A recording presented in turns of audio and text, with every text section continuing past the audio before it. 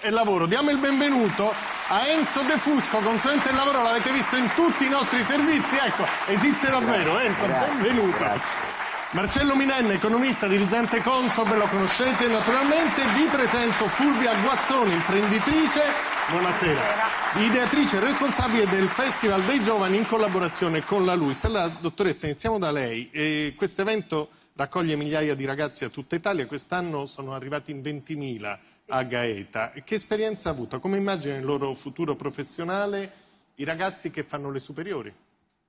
Allora, il Festival dei Giovani, eh, immaginate che nasce da una richiesta eh, dei giovani stessi. Anni di frequentazione nelle scuole, con gli insegnanti, con i ragazzi, hanno fatto emergere questa esigenza. Noi vogliamo un luogo in cui finalmente poterci esprimere. I ragazzi si sentono un po' compressi dalle definizioni che si vedono attribuire eh, costantemente dal mondo adulto e quindi hanno voluto dimostrare in qualche modo che sono diversi. Cosa abbiamo fatto? E al terzo anno hanno alimentato una rassegna di 230 eventi in cui loro sono protagonisti. Quindi loro hanno raccontato le loro storie, loro hanno raccontato i loro progetti di vita, i loro progetti di lavoro, perché c'erano delle giovanissime start-up e hanno espresso idee e talenti. Che cosa è emerso allora in questo contesto? Che i giovani forse non hanno una visione precisa del loro futuro, forse non ce l'abbiamo neanche noi tutto sommato, e soprattutto non sono così preoccupati del futuro. Questo è un dato interessante. Loro sono preoccupati del presente e ci chiedono degli interventi sul presente per poter avere gli strumenti per costruirsi un domani futuro. Professor Minenna, la disoccupazione giovanile è il problema dell'Italia, no? Beh, direi proprio di sì. Guardi, un terzo della disoccupazione giovanile d'Europa è in Italia. Ora c'è una strana coincidenza col numero dei crediti deteriorati rapportato all'Europa, che noi ne abbiamo praticamente un terzo. Ora, per venirne fuori ci vuole la crescita. Questa è la parola eh, che manca e peraltro bisogna vedere quale tipo di crescita, perché se la crescita viene dalla tecnologia bisogna vedere che impatto avrà sul lavoro. Eh, il problema è che eh, la disoccupazione e la disoccupazione giovanile eh, partecipano ad un grande problema della disuguaglianza che negli ultimi anni sta aumentando e la crisi non eh, inter... purtroppo il periodo di crisi non ha aiutato, anzi i ricchi sono diventati più ricchi, come si dice, eh, i poveri sono pure aumentati. Paglia, sì. Esatto, come si è detto con Monsignor Paglia. E l'aspetto che io trovo critico però è che negli ultimi anni in, tutti, in tutte le de determinanti della, eh, della disuguaglianza, istruzione, sanità, eh, casa, pensioni, ci sono stati interventi che non aiutano appunto a rendere oh, ecco la situazione del Fusco. Che futuro si costruiscono con lavori sempre più saltuari e poco pagati? Beh, a questi giovani si applica il sistema contributivo puro, vale a dire verrà calcolata una pensione sulla base dei contributi effettivamente versati.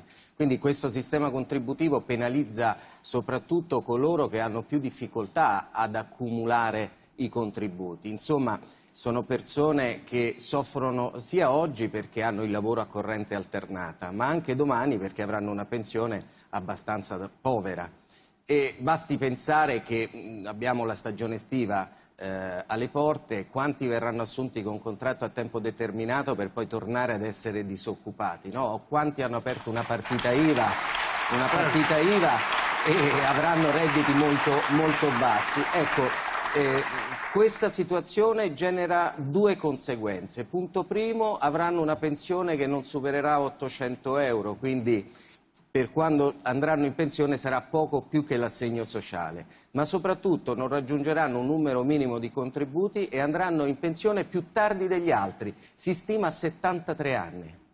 Nando Pagnoncelli, eppure il tema della politica è i pensionati e non i giovani. Sì, ci sono due motivazioni di fondo. Uno perché, come stiamo osservando anche nel, nel dibattito eh, il tema dei giovani è un tema estremamente complesso, non riguarda soltanto il lavoro, riguarda le politiche abitative, riguarda le politiche conciliative, i servizi per l'infanzia, tutta una serie di elementi che favoriscono l'uscita dalla famiglia dei giovani. E nessuno ha la bacchetta magica, ma il vero problema a mio parere è di carattere demografico, cioè il fatto che i giovani siano sempre meno.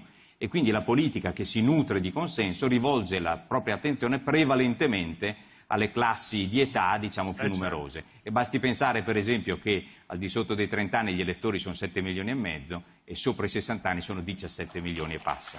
Dottoressa Guazzone, come vorrebbero veder cambiare l'Italia? Cosa è emerso dal vostro festival?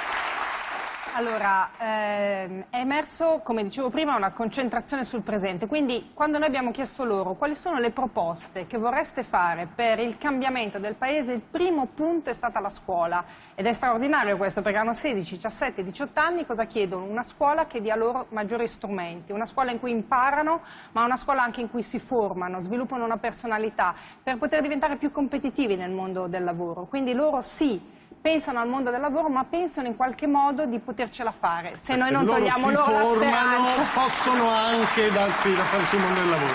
Professor Minella. Assolutamente vero, dicevo prima abbiamo un problema sulla scuola, sulla casa, abbiamo un problema sulla previdenza, io però credo abbiamo anche un problema collegato al nostro posizionamento all'interno dell'euro e dell'area valutaria in cui operiamo, perché guardi ci sono dei numeri e delle regole abbastanza interessanti, noi siamo, abbiamo più o meno un 25% tra disoccupati, sottoccupati e inoccupati nel nostro paese, eppure c'è una regola che impone austerità sulla nostra finanza pubblica che dice che tra quest'anno e il prossimo noi in termini di produzione potremo- avremo raggiunto tutto quello che possiamo raggiungere in termini di prodotto potenziale, usando una parola tecnica. Io mi chiedo com'è possibile col 25% del fattore produttivo di lavoro così mal utilizzato che noi siamo al massimo del nostro potenziale. Qualcosa va rivisto, no? Avvocato, tra l'altro i numeri dicono che se non creiamo nuovi posti di lavoro i lavoratori e i pensionati saranno pari. Che succede in quel Beh, caso? noi abbiamo un sistema previdenziale che deve essere in equilibrio, deve essere in equilibrio tra lavoratori e pensionati. Oggi noi abbiamo per ogni pensionato poco meno di due lavoratori, lo dice eh, l'Istat. Ecco, in questa condizione già lo Stato ogni anno, a fine anno, deve versare oltre 100 miliardi nelle casse dell'Inps per rendere questo sistema in equilibrio.